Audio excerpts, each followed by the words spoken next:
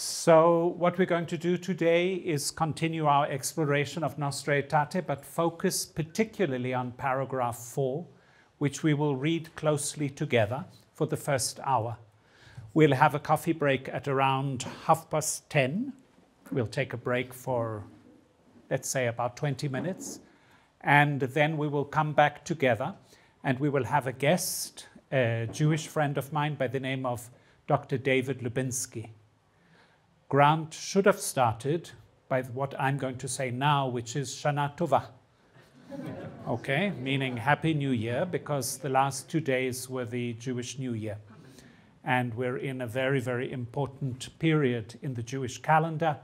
In a few days' time, it will be Yom Kippur, the Day of Atonement, and then just after that, the Feast of Tabernacles. So it's a very propitious time to be talking about our relationship with our Jewish brothers and sisters.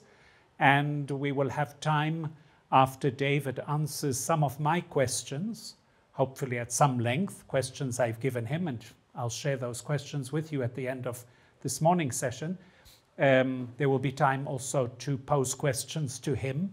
I say immediately, David is a very, very open person, willing to take any question. Okay? As silly as you might think it is, as challenging as you might think it is, please don't be embarrassed to ask. Okay? So let's begin. We're going to start with, like last time, a piece of music or a chant, El Maleh Rahamim, which in Hebrew means God full of mercy. It is a wonderful cantor from New York who is singing this at Ground Zero in New York during the visit of Pope Francis.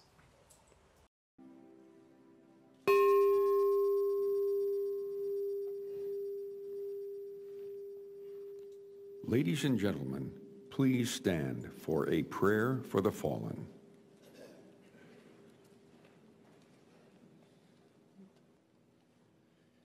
El male rachamim shochen abam romim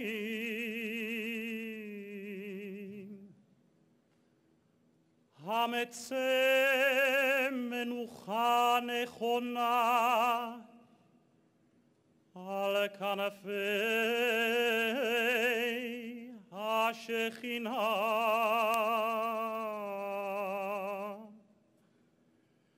במעלות קדושים וטהורים כזוהר הרקיע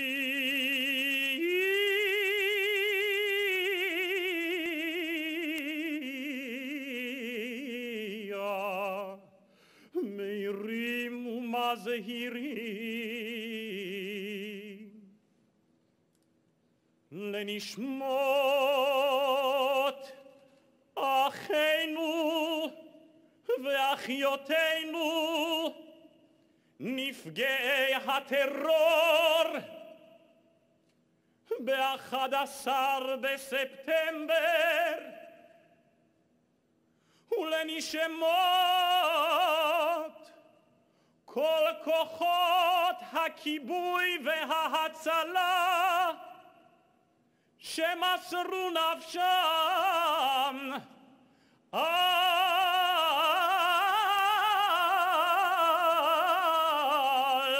על קדושת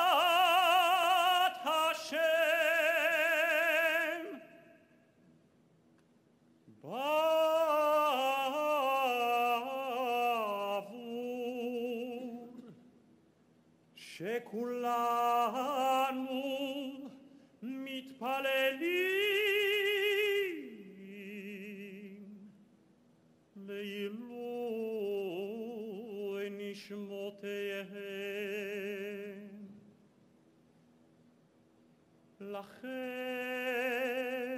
הבעל הרחמים יזכירם בסתר כנפיו לעולמים. ויצרור, ויצרור, cerró.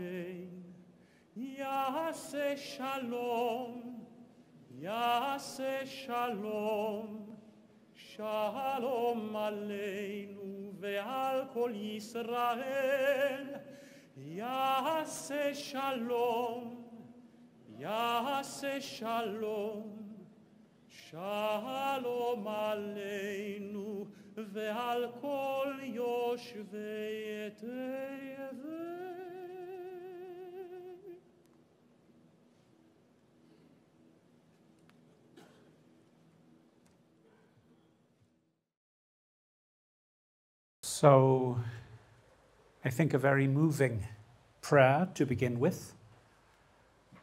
At the end, the prayer was, The one who is on high, may he make peace. And I think that we really need that prayer as we think about what's going on in the Middle East, in Palestine, in Gaza, in the West Bank, in Israel, in Lebanon, Iraq, Iran, Syria. May He make peace.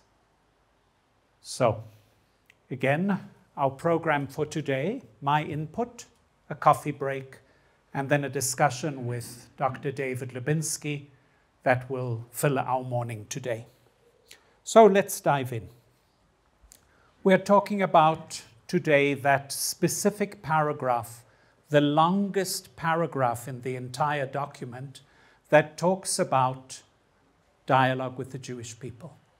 And again, if we think back to last week, for those that were here or might have seen the video that is uh, on YouTube, we talked about the context of Nostra Aetate and mentioned, and this is of particular importance for the text that we're about to read, the Shoah, what happened during the Second World War to the Jewish people, the discovery after the war that the Nazis had tried to wipe the Jewish people off the face of the earth, and many, many Christians and many Catholics waking up to what they had contributed to a discourse of contempt for the Jewish people, portraying them as God killers.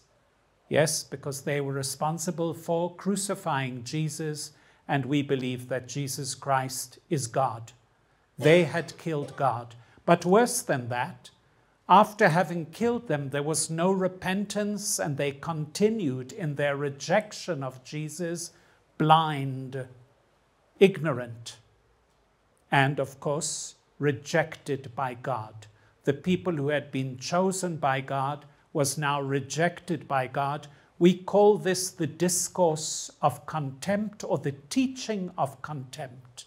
and Nostra Aetate would turn this teaching around to promote a teaching of respect, and that's what we want to examine today.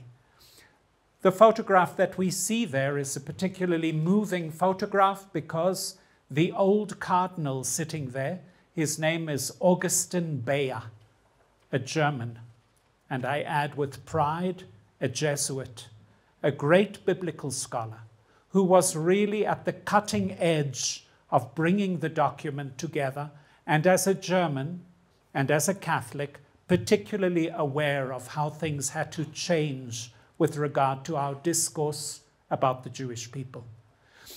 The man sitting next to him is probably one of the greatest Jewish teachers in the 20th century, certainly among the greatest. His name was Abraham Joshua Heschel, a great commentator on the Bible, a theologian and a philosopher, who agreed to go and meet Cardinal Bea, to meet Pope Paul VI, with a lot of hesitation.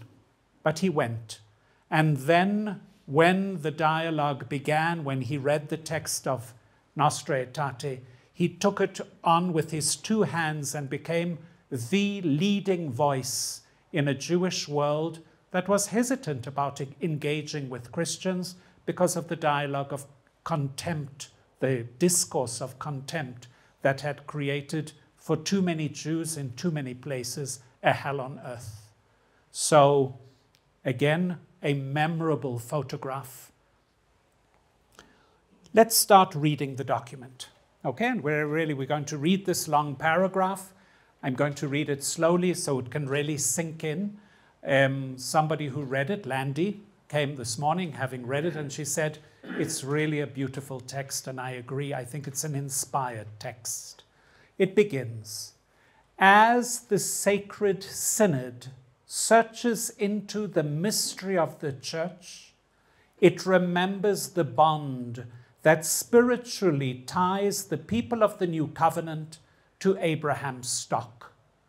Let's pass that so that it's clear the Sacred Synod is, of course, this meeting, Vatican II, the bishops all coming together, thousands of bishops around the Pope. And as that meeting, the leaders of the church look into what is the church, the mystery of the church, right there, and this makes the relationship with the Jewish people particular, unlike relationship with anyone else. Right when we are considering who we are as church, it is there that we remember how we are tied to the Jewish people, the spiritual ties that tie us to the stock of Abraham.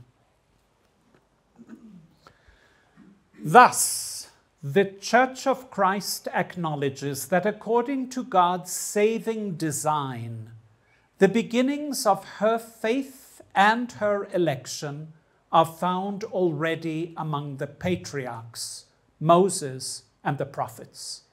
So, of course, that's not new to us. Our story begins way before Jesus. It begins with the beginning of humanity and then, in a particular way, with the calling of Abraham. That is where we are one with the Jewish people in our memory. She professes that all who believe in Christ, Abraham's children according to faith, are included in the same patriarch's call, and likewise that the salvation of the church is mysteriously foreshadowed by the chosen people's exodus from the land of bondage. Of course, here, okay, and we do have Jewish friends present. We can later ask also David when he comes. This idea of when Christ comes, the election is stretched, is broadened to include all those who believe in Jesus, who become one with Israel as the people of God. The church, therefore, cannot forget that she received the revelation of the Old Testament through the people with whom God, in his inexpressible mercy, concluded the ancient covenant nor can she forget that she draws sustenance from the root of that well cultivated olive tree onto which have been grafted the wild shoots, the Gentiles. Now, for those that are not completely familiar with the Bible, hopefully many of you will identify what the text is talking about. In the Epistle to the Romans, in chapter 11, St. Paul gives a wonderful image. It's the image of two olive trees. One of them is a domesticated olive tree that gives fruit. That is Israel, fed by the Spirit of God. The other is a wild olive tree that does not give fruit. Those are the Gentiles. I say it brutally that we recognize what an incredible change is taking place here. Notice that according to St. Paul, what happens when Christ comes is that branches from that wild olive tree are grafted onto the domesticated olive tree so that they too can be fed by the Spirit of God. Okay? Paul continues, and this is the difficult part, that those who don't believe in Christ are cut off from the tree and fall to the ground. That, of course, is a difficult part in the dialogue with our Jewish brothers and sisters. But then Paul insists their place is saved for them because at the end of time, all will be part of that olive tree. And we'll come to that in a moment. But it's important to identify here a text that has become an incredible resource in the reworking of our relationship with the Jewish people, a text that was largely overlooked. We used lots of other texts in order to teach contempt. Now, looking for respect, we found these chapters, chapter 9, 10, and 11 of the Epistle to the Romans, that have a completely different look on the Jewish people, an appreciation for the Jewish people in the writings of St. Paul. The text continues Indeed, the church believes that by his cross, Christ our peace, quotation from the epistle to the Ephesians, reconciled Jews and Gentiles, making both one in himself. Again, a powerful text in the second chapter of the epistle to the Ephesians. Christ is our peace.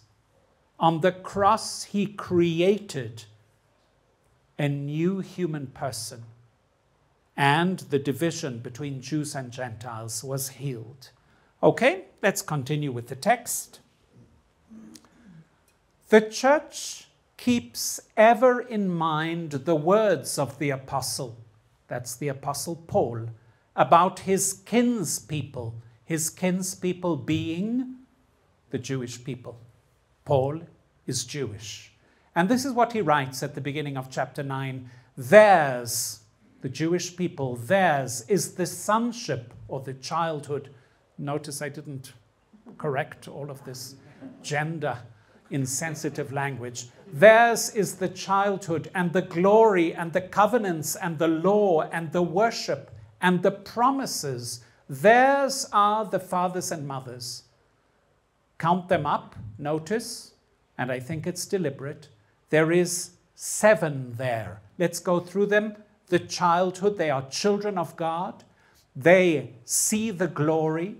They have the covenants, notice the plural, the law, the worship, the promises, and the patriarchs and matriarchs. Seven is a fullness, a perfection of blessings. And then, of course, Paul adds the eighth, the overflow and from them is the Christ according to the flesh, the Son of the Virgin Mary. Again, it's almost a mystery. How could Christians have forgotten the Jewish identity of Jesus and of Mary? A joke? We're in a refectory of a group of religious I won't give a national identity to this group of religious, but speaking the old language of contempt about the Jews. What a blind people. They killed our Lord. They continue to be blind, ignorant, trying to control the world. And suddenly they hear voices. And they look up, and it's Jesus on the crucifix talking to the icon of Our Lady. And he says to Our Lady, Mom, they don't like us here. Come on, let's get up and go. she also recalls, the church also recalls, that the apostles, the church's mainstay and pillars, as well as most of the early disciples who proclaimed Christ's gospel to the world, sprang from the Jewish people. Again, for so many centuries, we thought that they were all a group of Polish, Irish, God knows what. We forget uh, that they were Jewish. And now we come to the absolute center of this paragraph, and it's here that we have the most stunning change in discourse. As Holy Scripture testifies, Jerusalem did not recognize the time of her visitation, nor did the Jews in large number accept the gospel. Indeed, not a few opposed its spreading. Now, we all know that part. That's the part that was the basis of the teaching of contempt. The Jews, the overwhelming majority, rejected Jesus. But now the document continues to open up a new horizon, a teaching of respect. Nevertheless, God holds the Jews most dear for the sake of their patriarchs and matriarchs. And the sentence that comes from Paul once again he does not repent of the gifts he makes or of the calls he issues. Such is the witness of the apostle. Now, let's say a few words about that because I think that this is the very kernel of the change in discourse by the way, this very verse has constituted a refrain in all of the documents that came afterwards and all of the times that the popes addressed relationships with the Jewish people. What did we used to say? We used to say the Jews rejected Jesus. So God rejected them. That was the real core, the heart of the teaching of contempt. We recognize that once they had been chosen, but now they aren't anymore because they rejected Christ, so God rejected them. What a ridiculous theology. As though God follows what we do. The good news is the very good news that God does not go back on God's promises, that God is faithful no matter what. Without that good news, where would we be? If we looked at our own history and saw how many times we have rejected God. Thank God, God is faithful. And again, I say this is the very center of paragraph 4. He does not repent of the gifts he makes or of the calls he issues. Such is the witness of the apostle. A quotation from Romans chapter 11, verse 29, again repeated as a refrain ever since 1965 I think, never once quoted in the centuries before then, when we preached that God is unfaithful. In company with the prophets and the same apostle, the church awaits that day known to God alone, on which all peoples will address the Lord in a single voice and serve him shoulder to shoulder a quotation from the prophet Zephaniah, again essential to the new teaching, because there is today no missionary body in the church that preaches Jesus Christ to the Jews. Does that mean that we do not hope one day that Jews will be, believe like we do? We do hope that. But we do not exert any pressure. We do not go out to preach on street corners because, notice again the wording, a day known to God alone when we will work, walk together as one people. A completely new idea of relationship with the Jewish people, a relationship of respect. Okay, the document continues. Since, and this will, these will be the consequences, the rest of the document are the consequences, since the spiritual patrimony common to Christians and Jews is thus so great, this sacred synod wants to foster and recommend that mutual understanding and respect, which is the fruit above all of biblical and theological studies, as well as of fraternal and what's the sororial, sororitorial dialogues. Now, I want to dwell on this statue. Okay? This statue is a very new statue inaugurated by Pope Francis when he visited the Jesuit University in Philadelphia, St. Joseph's University. And I want to pass the statue because it's a wonderful image of this new discourse. In medieval times, there were statues and icons spread all over Europe. Who's been to the Cathedral of Notre Dame in Paris? Many. Who's been to the cathedral in Strasbourg? Okay, we'll stick with Notre Dame. When you go into Notre Dame, by the way, the same image is on the Cathedral of Trier, I, I discovered last year when I was in Trier. When you go into the cathedral, there are two statues on either side of the door, two twin sisters. They look exactly the same, except for some details. One sister is crowned, looks out with a clarity of vision, holds a mace of authority in her hand, confident. Her name is Ecclesia, Greek, church. Her twin sister has a crown that has fallen off. She's holding a mace that is broken, and most important of all, she is blindfolded. She doesn't see. What's her name? Synagoga. In the light of Vatican II, an artist made this statue. Do you see synagoga and ecclesia? Now, who can tell me which one is synagoga and which one is ecclesia? Synagoga, she's holding the Torah scrolls. Ecclesia is holding the codex. This is the only distinction. They are twin sisters, both crowned sitting in equality, looking at each other and studying the scriptures together.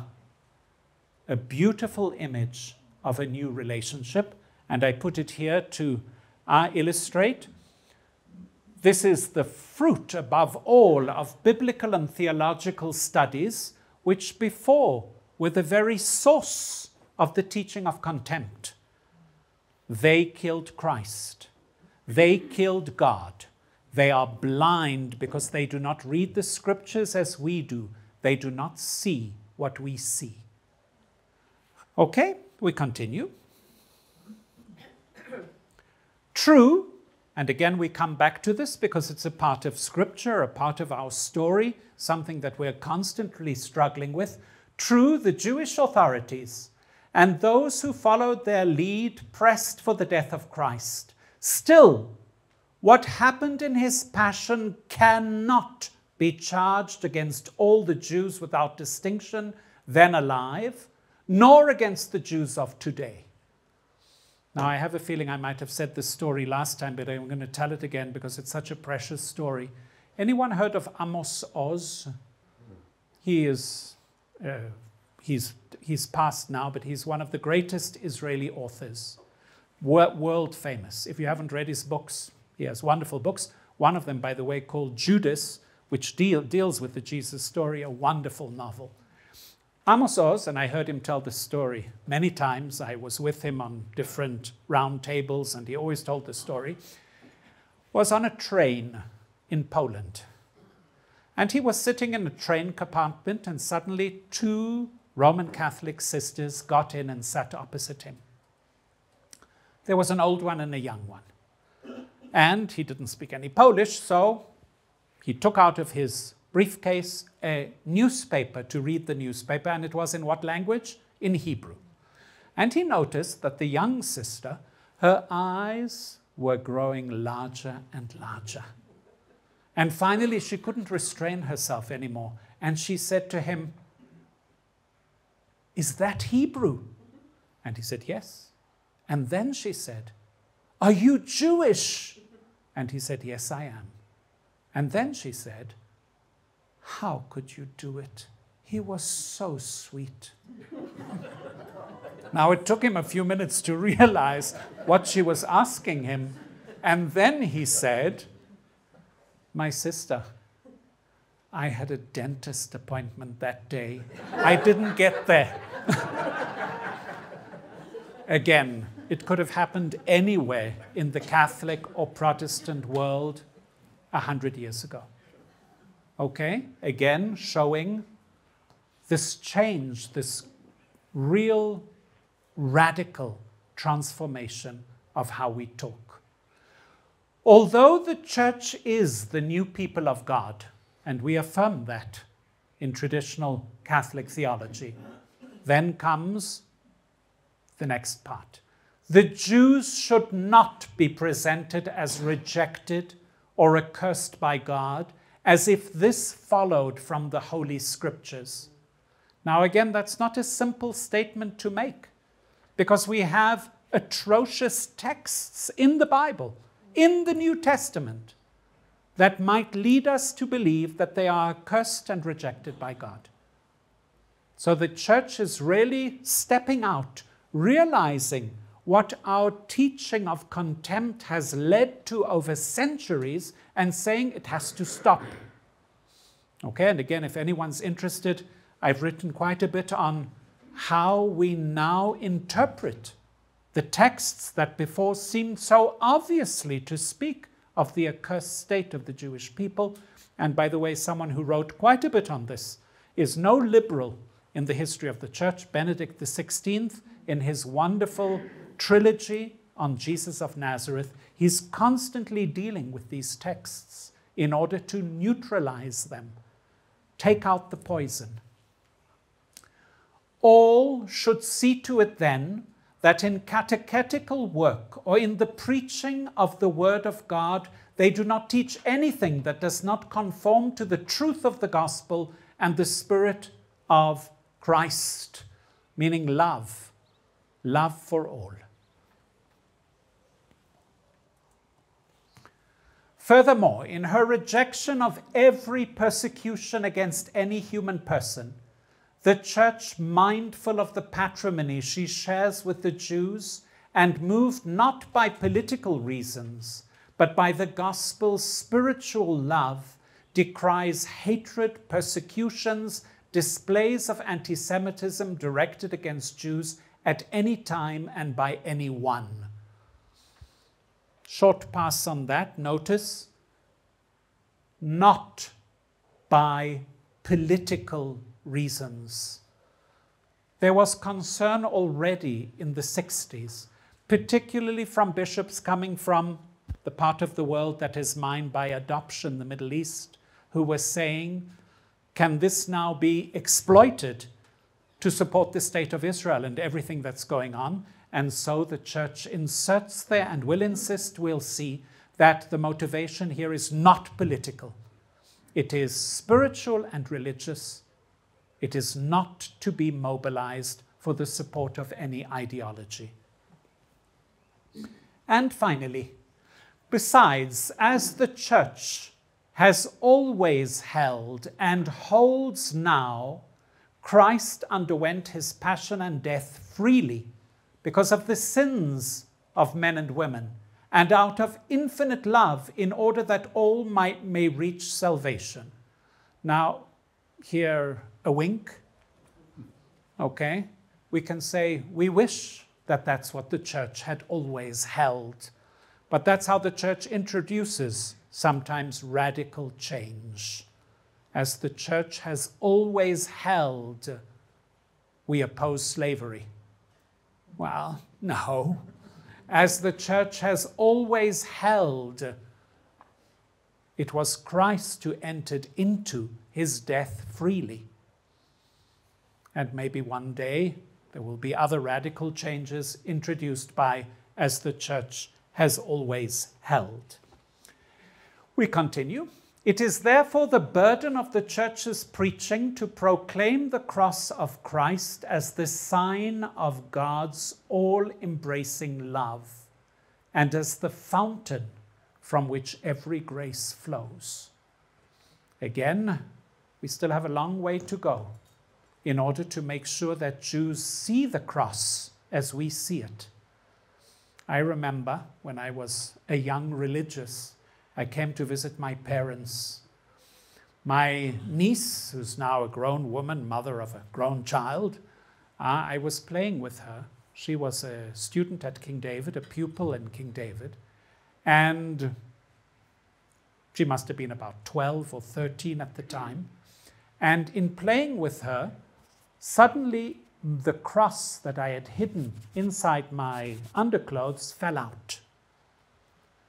The look of horror on her face when she saw the cross made me vow that I'd never wear a cross again. And I don't. Because, of course, ah, the cross is seen by so many Jews, by so many Muslims, we'll see at the end of the month, as a sign of persecution, crusade, discrimination. But of course, we would desire that it would be seen as we see it, as a sign of God's all embracing love and as the fountain from which every grace flows. We're not there yet. Okay, so again, I say I think this text is inspired. A number of people worked on it. Uh, it got an overwhelming yes from the Council Fathers. Let's look very briefly, before we take some questions, at what is being said here. What are the main points? One, we share our roots with the Jewish people. How could we have ever forgotten that?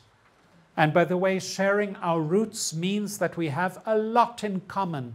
Despite all the obvious things where we differ, we speak a language that is fundamentally founded on the scriptures we say so many words that both Jews and Muslims can understand. Two, Jesus is Jewish. Please notice that's not a grammar mistake. Jesus is alive, right? We would all agree to that. Okay? If Jesus is alive, it means he's Jewish. He didn't suddenly become a Catholic or a Protestant or an Orthodox. He is Jewish. Our God our Messiah, our Savior, is Jewish, as is his blessed mother. And of course, this is not something that unites us with the Jewish people because the Jewish people mostly ignore Jesus. And if they do discuss him, they see him as the creator of many of their woes in history. But for us, we can never forget that Jesus is Jewish. Our tragic history and our tragic history, for the most part, is in those places and those times when we as Catholics were the majority and Jews were a minority. Not everywhere, not always. There were golden times. One of the magnificent golden times of Jews living with Catholics was in Poland. For 200 years, called the Golden Age of Jewish life in Poland. Krakow was the center, and we're going back to the time when Poland offered refuge to Jews fleeing from more Western countries where there was persecution. This is still commemorated. Most Jews don't remember this. But in Hebrew, one says Poland, Polania. Sounds like Poland, right? But if you break it up, it means Po, here, Lan sleeps, Ya, God. Security for hundreds of years. That came crashing down when Poland suffered its own martyrdom at the hands of the Ukrainians in 1648, 1649. But in too many places and at too many times, Jews bore the brunt of the teaching of contempt translated into terrible persecution, marginalization, and exile in many places. And of course, Jews know that history. We need to know it as well. which leads to a common front today. Uh, Pope Francis is eloquent about this, as was Pope Benedict, as was Pope John Paul II. We fight together anti Judaism and anti Semitism. Any contempt for the Jewish religion is foreign to the Catholic Church. Any contempt for Jews as Jews is foreign to the Catholic Church. Again, I'm speaking wish language. We want that to be so. I still hear homilies where I cringe. Okay? I hear homilies where Jesus is set against these nasty, legalistic Pharisees. Yeah, the text seems to be saying that, but we can no longer vehicle that message because it's part of a long heritage of anti Judaism and anti Semitism. And finally, tikkun olam, a beautiful Hebrew expression which means repairing a broken world. We look around, we see a broken world. Huh. One of the most terrible breaks is right now what's going on in the Middle East. And we want to work together to repair a broken world. Tikkun, repair, olam, world, repairing a broken world. It's not all smooth sailing. Challenges, and the challenges are enormous. And at this present moment, I share with you we're in a time of crisis in the dialogue between Jews and Catholics. Some of you might have seen the videos that are being circulated by the chief rabbi of South Africa, uh, Warren Goldstein. They are horrendous videos. Okay, our institute last year responded to one of those videos. He's brought out a new one that is horrible. Yes, there are crises. There are moments where we need to say we don't agree. Okay, we need to sit down and talk. So, these challenges, I mentioned first of all salvation what do I mean when I say salvation is a challenge? Because we Christians think a lot about is he going to, or she going to get into the kingdom of heaven? Are they going to go to paradise? Okay. It's a huge question. Again, I've written on this. Anyone interested, I can share with you the attempt to analyze post Vatican II teaching about salvation and the Jews. We believe salvation is from the Jews. That's Gospel of John, chapter 4, verse 22. When Jesus is speaking to the Samaritan, he says, Salvation is from the Jews. Our big question is, and salvation for the Jews? Where is it from? Is it from Christ, not from Christ? How are Jews are saved? In our new teaching of respect, we need to do a lot more listening than speaking, listening to Jews. Two, Israel, the state of Israel. Okay? What is our position within the dialogue when it comes to the state of Israel? A very complex question when we realize that a huge number of Jews, Warren Goldstein and many, many other Jews, see themselves as intimately linked to a state and an ideology that created that state. We also recognize, and I know here people of Lebanese origin, I'm not sure if the people here from Palestinian origin, that that state has created total havoc in the Middle East. Let's not mince our words as that havoc is increasing day by day. Okay? In Gaza, in the West Bank, in East Jerusalem, within the state of Israel, Lebanon, and the surrounding region. What do we say? And for that reason, I want to share with you something very clairvoyant that was are said by a later Vatican document. Of course, there are many documents after Nostra Aetate that continue to deal with the dialogue with the Jews. But I think that this is our position, at least minimally. Christians are invited to understand the Jewish religious attachment, which finds its roots in biblical tradition. That's the attachment to the land of Israel. Okay, many Jews, not all Jews by any manner of means, but many Jews say we are connected to that land. Okay? We need to hear that. And that is not problematic in and of itself. But we do not make our own any particular religious, rela- eh, eh, religious interpretation of this relationship. For us, we are hearing it, we can respect it. We do not say, oh, that's based on the Bible. Okay? That is not the way that we read the Bible. It continues The existence of the State of Israel and its political options should be envisaged not in a perspective which is in itself religious, but in their reference to the common principles of international law. And I think that's essential. Okay? When we judge the state of Israel, we do not judge it from an anti Semitic, anti Jewish perspective. We do not judge it from a pro Jewish, philo Semitic perspective. We judge it according to the principles of international law, okay, as we would any state. And Israel is no different from any state when it comes to that. Going back to our list of challenges, okay, the challenge of writing history. What do I mean? Do we write history as though we Catholics have always been saints? Okay? That every single Catholic was just an emulation of Jesus Christ? Thank God we're out of that period. we are very critical about writing history as we should be. But the question here is can we write history together with Jews? Can we create common textbooks, see their education? Can we educate our children with one united narrative?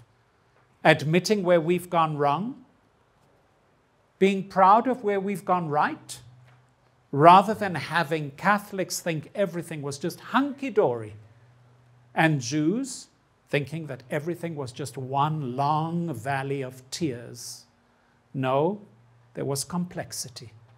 And that complexity, as we sit down and work together, dialogue, understand, listen, speak also, we can come to some more united appreciation of who we are together on this journey which we must journey together. So, that is the presentation of the document. I'm going to slip one more slide so that you can see. Okay, we will welcome shortly David Lubinski. I have asked him to prepare three questions. Who are you? Who are the Jews in South Africa today? Haven't said much about that. I think we should hear something. And could you share your thoughts on Nostra Aetate paragraph 4? Okay, interesting to hear. Jews had time to reflect on the text that we just read, and then there will be time to pose any questions you want.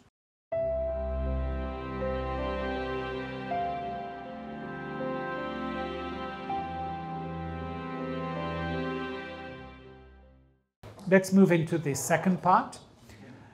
We have with us a guest who has repeated to me numerous times that I shouldn't have chosen him because there are so many other people who might do the job better. I chose this particular uh, friend, Jewish friend, because I think that he has experience and intelligence, but also openness to really engage with us. So this is the motivation. Uh, um, as my mother said to him during the break, our families go back a long, long way. and I'm not going to say too much about him because I really like him to introduce himself. You can see there behind him the three questions that I have posed to David, David Lubinski, and we'll dive into it immediately. The first question is, Who are you? And the question, of course, is that he gives a lengthy introduction to who he is and how he sees his own identity.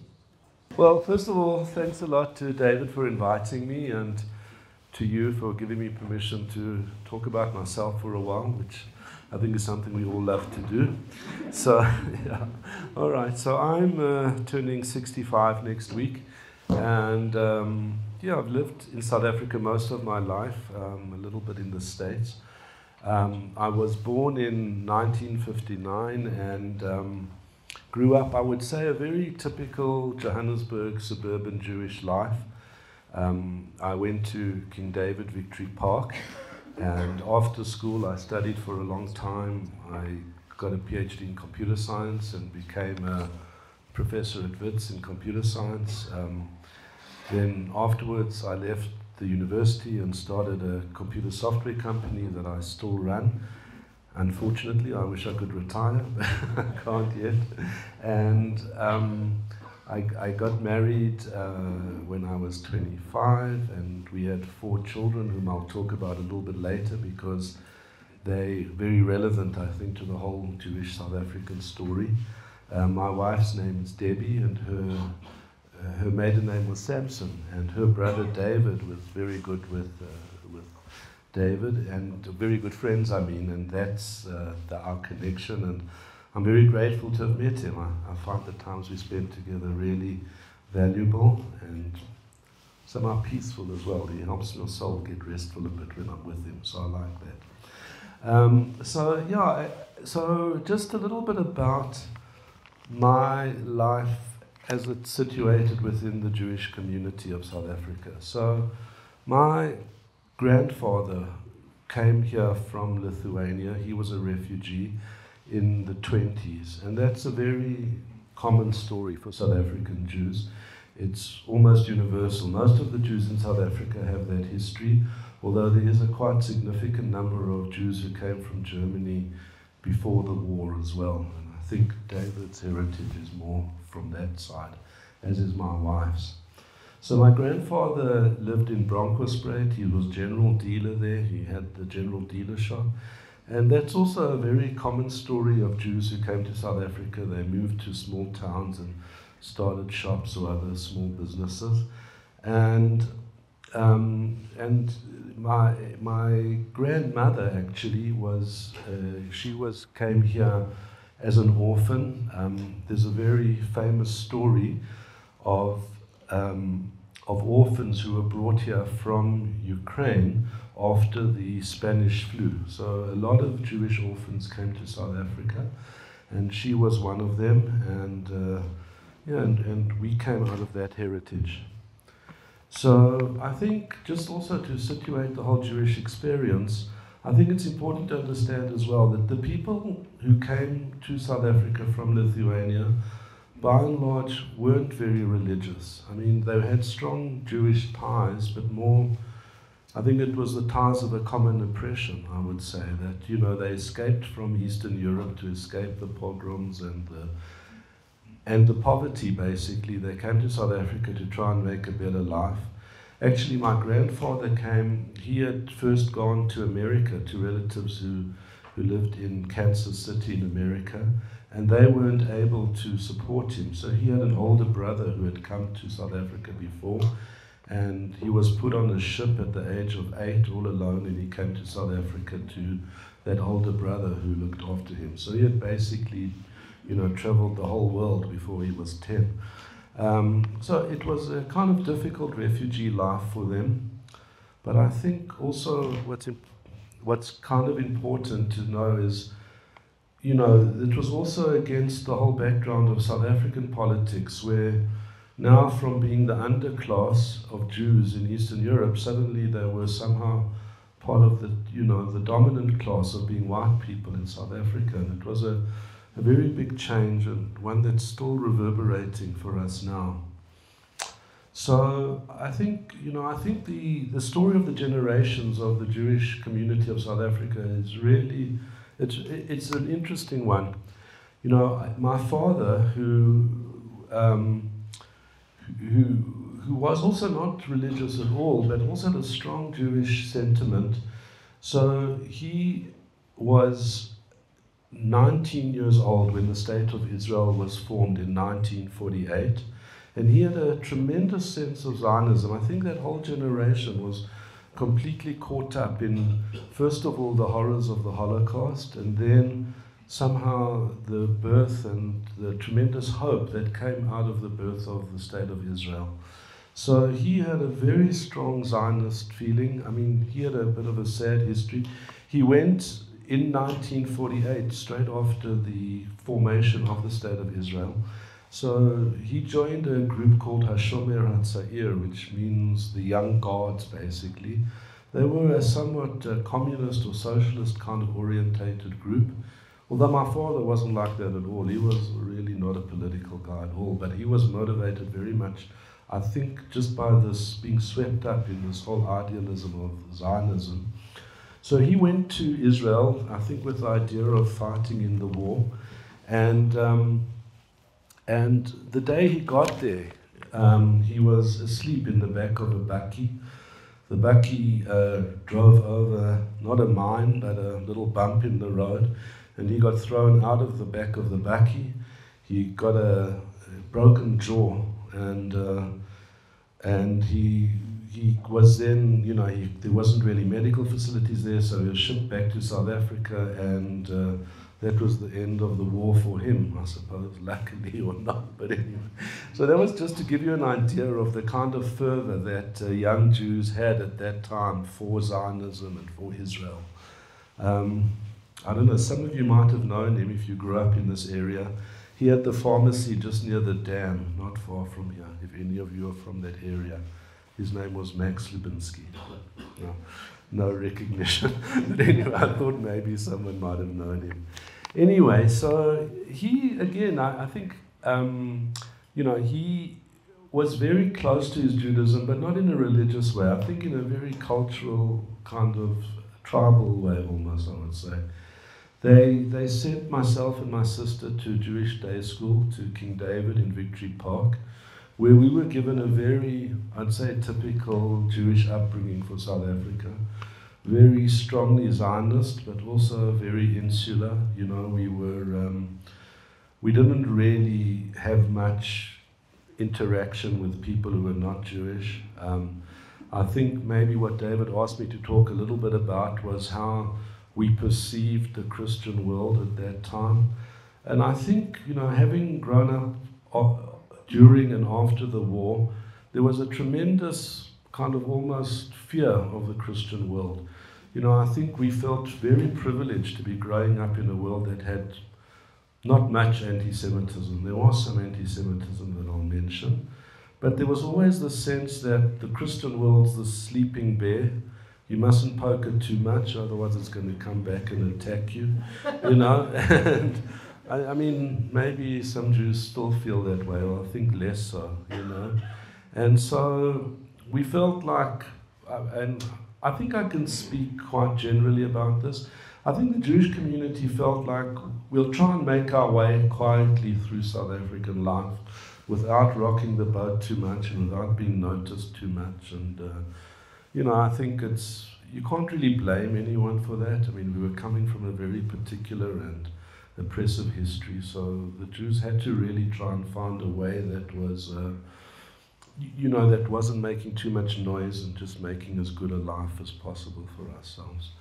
And I, I must say, I very much bought into that whole narrative. Um, my mom died when I was 14 years old. And that obviously had a huge impact on my life. And it, it made me start asking a lot of the same religious questions that people would ask when they're faced with death.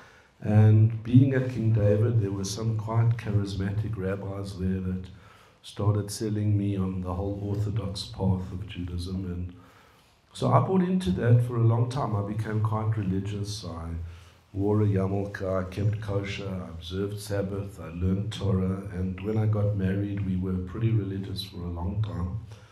So I went through a path of, uh, I'd say from the age of 15 to 35, being a pretty Orthodox Jew. And so I've got a pretty fair amount of knowledge of Orthodoxy and Jewish texts and so on.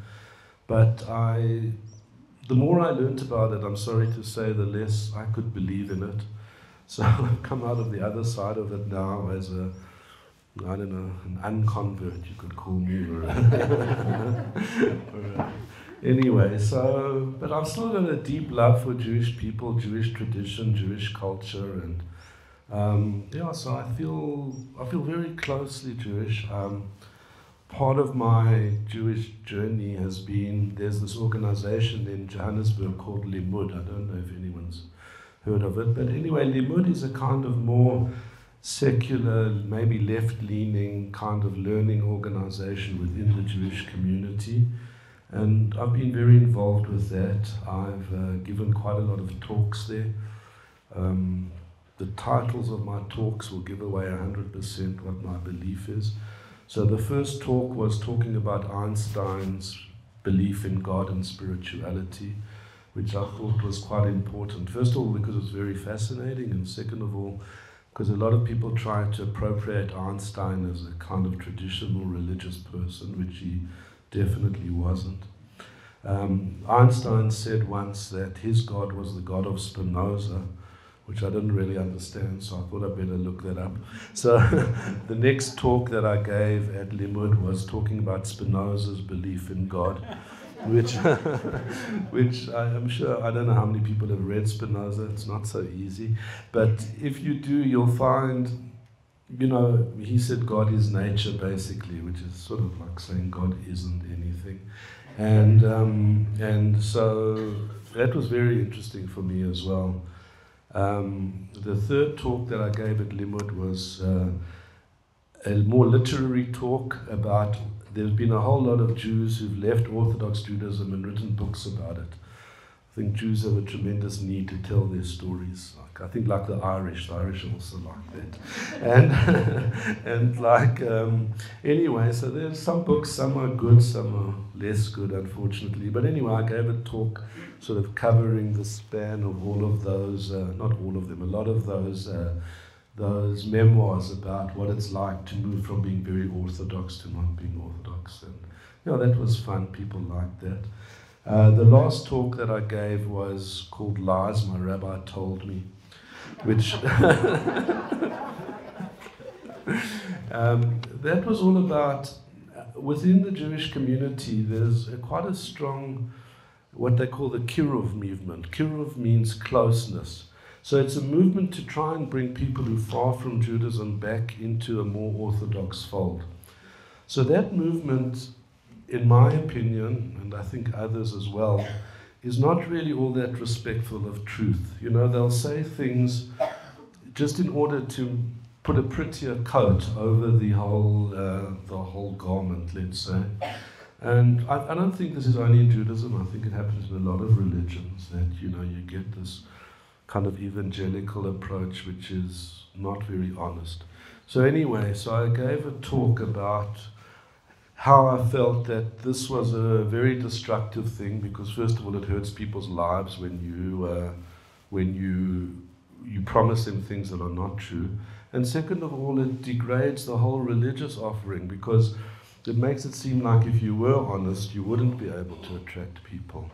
So, you know, I think it was two sides to the talk. Was one was if we love and respect our religion, let's be honest about it. And the other side was don't harm people by saying things that are not true, you know. So that, that was, I think, my most uh, well received talk. But anyway, so that's a little bit about my background. And I'd like to tell a little bit about my children because I think this movement of the generations is quite interesting, you know. That you had my grandfather who was really a refugee, just struggling to make it. My father who really had a nice suburban, comfortable lifestyle. I think myself, who I also did, but I was attracted back into my Jewish heritage a lot more. And then finally, so I've got four children. Um, one lives here, he's busy studying a master's at Wits. Um, there's one who's an artist who lives in Berlin. There's another one lives in Nairobi. He's busy becoming a yoga teacher, although his background was in uh, computer software development. And the, the, the fourth one lives in Australia with two kids in Sydney. So she's the one who's followed the more normative path. So that's a, a little bit of my background, um, or maybe a lot. I'm not sure if I said too much or too little, David. David, for the sake of the people Yes. here, because I think a lot of what you said was completely comprehensible, but maybe there was some in language Oh, that sorry needs some that. passing. And I'm going to ask that you define in your own terms Yes. what does it mean when you say, uh, my father was very Zionist? What does that word mean? Yeah, okay. Thanks. I think that's a, a really good question because what it meant to my father was very different to what it means now. You know, I think um, Zionism in the 50s and 60s was all about creating a haven for Jews. You know, the Jews had come out of the Holocaust and had this tremendous sense of never again. You know, this was the real rallying cry of Zionism was let's create a state and a place where Jews can be safe. And I also think there was something a little bit messianic about it in the sense of building a new society that was somehow better, that was not going to be violent, that was not going to be oppressive, that was going to be inclusive. There was this real sense of after the Second World War, what can we build that's new? You know, that was the whole kibbutz movement. There, there was a lot of socialist, Marxist kind of thinking in that kind of thinking as well.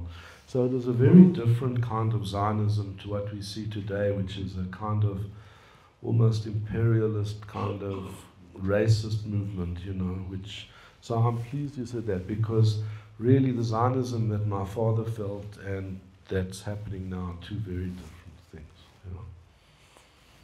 Thanks.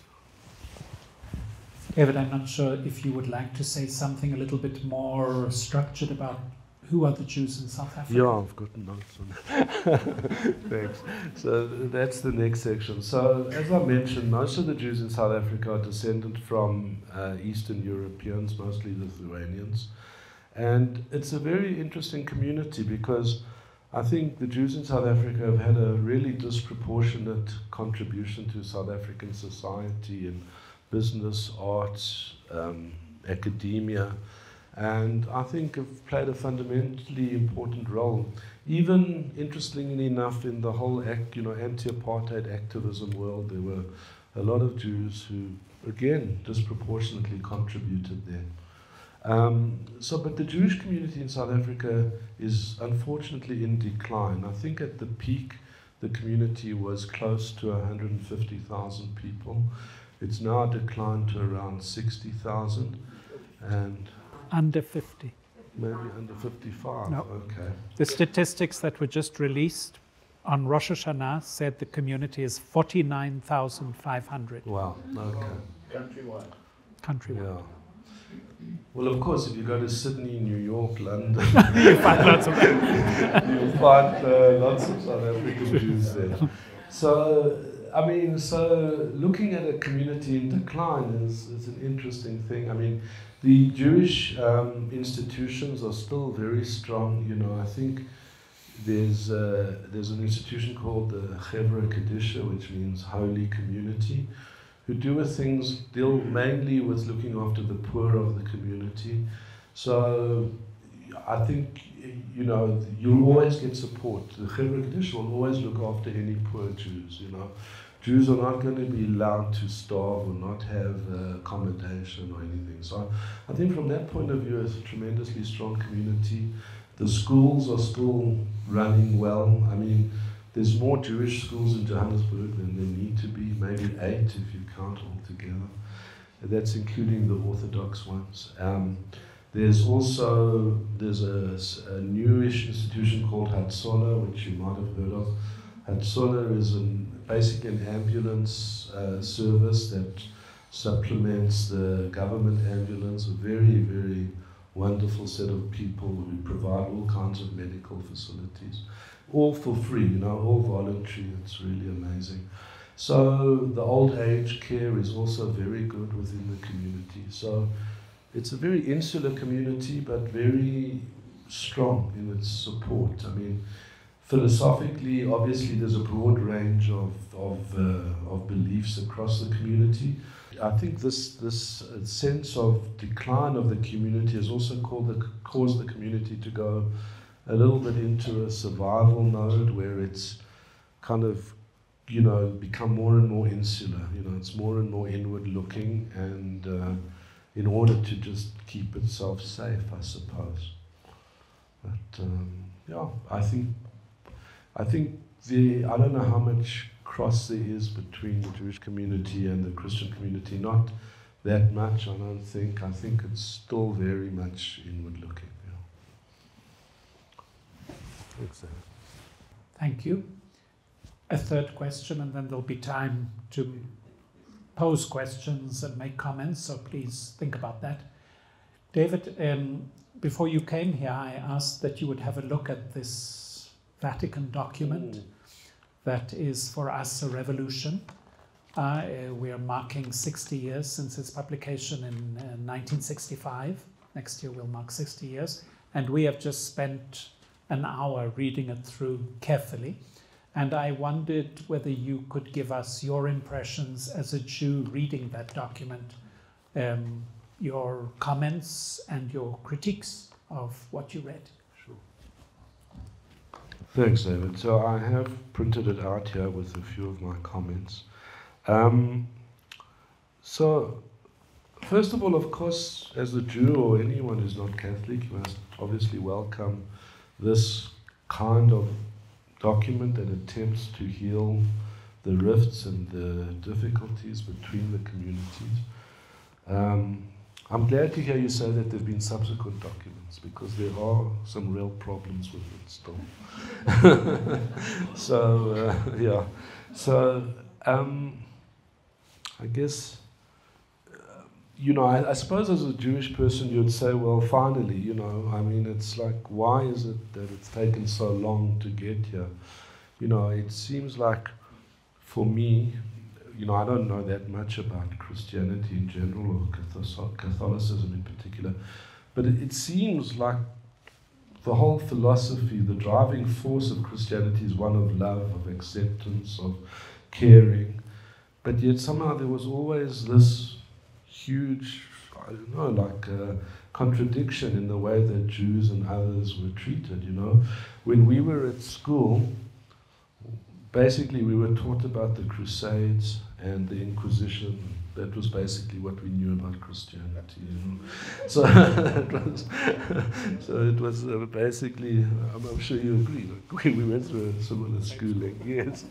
And I mean, the idea was from this point of view that Christianity is not something a positive force in the world, but basically a negative force to be quite scared of. You know, and so it's um, it's obviously a wonderful thing that these kinds of things are happening, but I suppose the, you know, I, I think that if you look at this fourth paragraph, the whole theme of it seems to be that Jews and Christians are somehow brothers in the whole spiritual path through life. And it doesn't really tackle the issue of how do we reconcile these opposing truths, you know, because they are opposing, they're not really easily reconciled. So I think it's a little bit too optimistic in that way about, you know, it sort of glosses over the really tough problem of how do we live. We can't, I think, I don't know, there's a famous uh, Jewish rabbi called Samson Hirsch. I don't know if people have heard of him, some might have.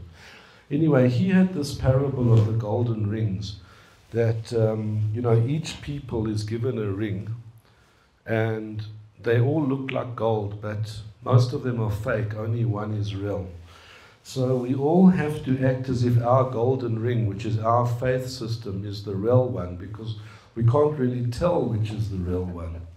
So I kind of, uh, when I first heard that, I thought, how wonderful, you know, how ecumenical. We all got the same position. But it's, it's actually a real cop out, that way of thinking. You know, it's, it's, not, it's not a good way of thinking, you know.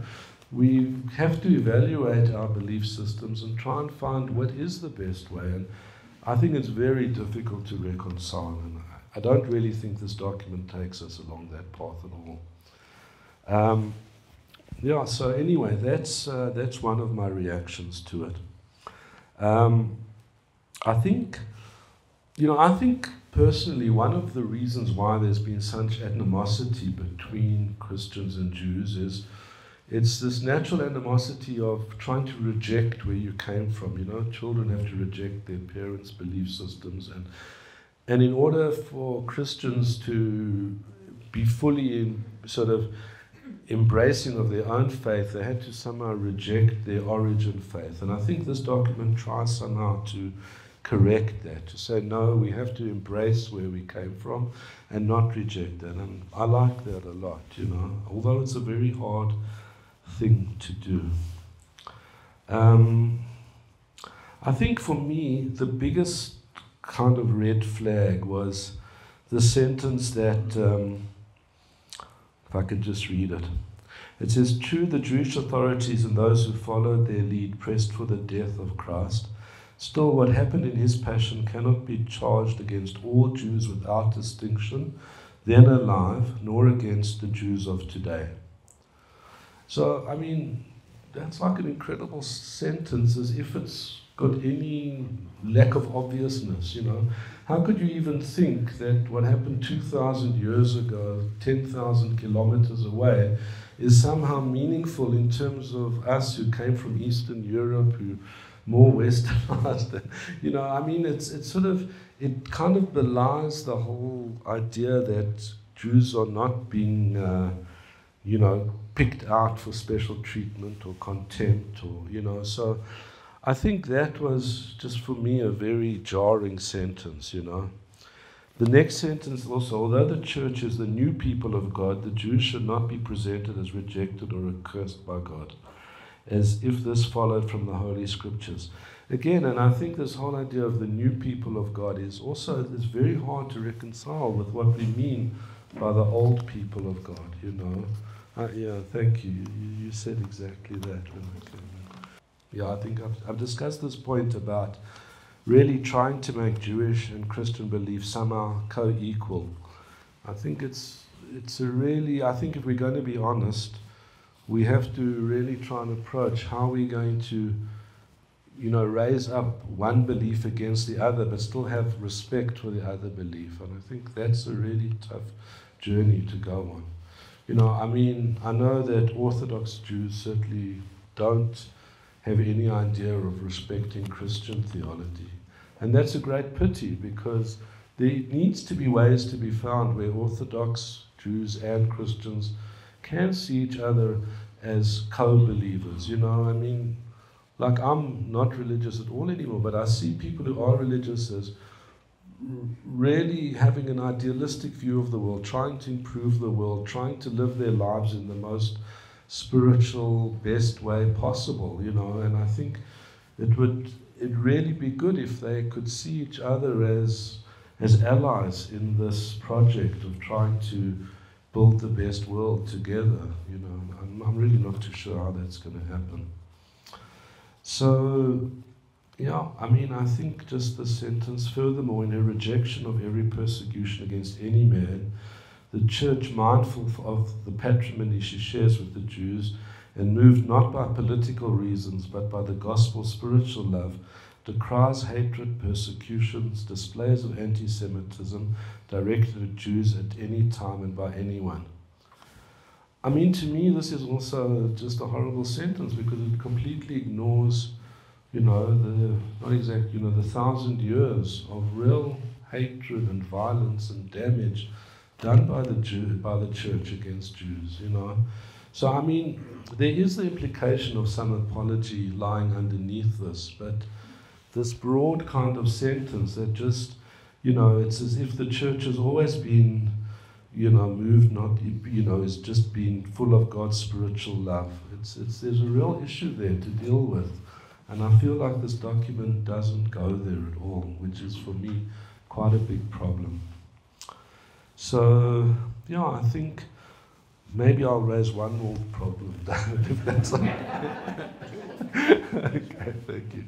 So I think this last paragraph, um, it says, Besides, as the church has always held and holds now, Christ underwent his passion and death freely because of the sins of men and out of infinite love, in order that all may reach salvation. It is therefore the burden of the church's preaching to proclaim the cross of Christ as the sign of God's all embracing love and as the fountain from which every grace flows. So, somehow this seems to be saying that evil as the Jews were, they were somehow God's tool in creating this destiny. You know, so this idea of of some you know predestined kind of movement through history through some evil tools is a really dangerous one in my idea. You know, I've heard it, unfortunately, even being said in the Jewish world that although the Nazis were so evil, that somehow led to the creation of the Israeli state, which was seen as, you know, a very important part of Jewish kind of redemption. And for me, that kind of philosophy is sickening, you know, it's really deeply disturbing to talk like that, but it is said by people. And again, this strikes me also, you know, you can't go and forgive evil just because it's somehow helping God to achieve the, the historical destiny that we need. So again, I don't really like that sentence very much. But anyway, but I don't want to, I mean, I'm just, you know, responding because you asked me to. And, um, and overall, like I said in the beginning, a very, you know, I think all Jews and all people should be very happy and welcoming of this kind of approach and the subsequent documents, which I'm not familiar with, but that you mentioned. Okay, thanks. So, David, I'm going to send out to everyone here, and I'll send it to you as well, the most recent documents. Although I did say this morning we are nowhere near the end of the journey. Uh, we are still on the way. And what we are celebrating is that we've actually started the way. Uh, and as you can hear, there are still many, many questions. Part of the challenge is to listen. I listen to Jewish people, their experience, but also reflecting on our own way of speaking. So, you said that you were not appropriate. Uh, I beg to differ 180 degrees. Thank you very, very much.